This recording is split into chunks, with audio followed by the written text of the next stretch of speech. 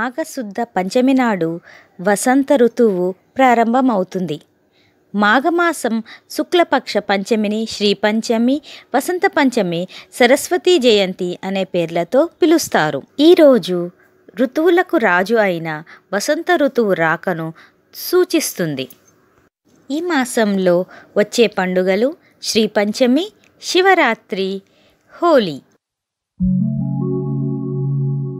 ఈ పండుగ గురించి పురాణాల్లో సకల విద్యాస్వరూపిణి సరస్వతీదేవి జన్మదినంగా పేర్కొన్నారు.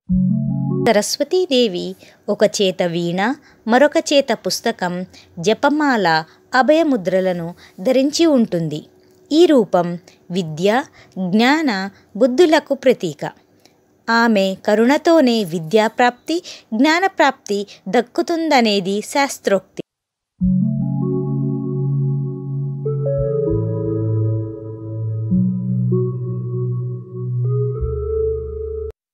విద్య చేత వినయం వినయం చేత జ్ఞానం జ్ఞానం చేత ధనం ధనం చేత అధికారం సంప్రాప్తిస్తాయి.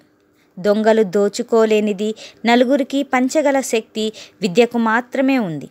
సమాజంలో విద్య కలిగిన వాడు ధనవంతుడి కన్నా గొప్పవాడు ఎక్కడైనా బతకగలిగేవాడు. తెల్లని పద్మం సరస్వతికి సింహాసనం. మధురమైన పలుకులు పలికే చిలుక ఆమెకు చెలికత్తే. అమ్మ మాటలకు తోడుగా మ్రోగేది వీణ.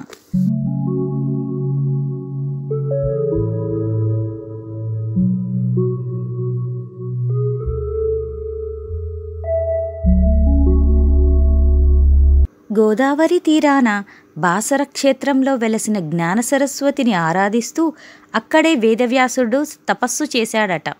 అమ్మ సాక్షాత్కారం పొంది ఆమె అనుగ్రహంతోనే వేద విభజన మహాభారతం అష్టాదశ పురాణాలను రచించారు అని అంటారు. వేదాలు నాలుగు. అవి ఋగ్వేదం యజుర్వేదం సామవేదం అథర్వణ వేదం ఈ వసంత పంచమి రోజున అమ్మ అనుగ్రహం ఆశీర్వాదం మన మీద ఎల్లప్పుడూ ఉండాలని కోరుకుంటూ అందరికీ శ్రీ పంచమి శుభాకాంక్షలు.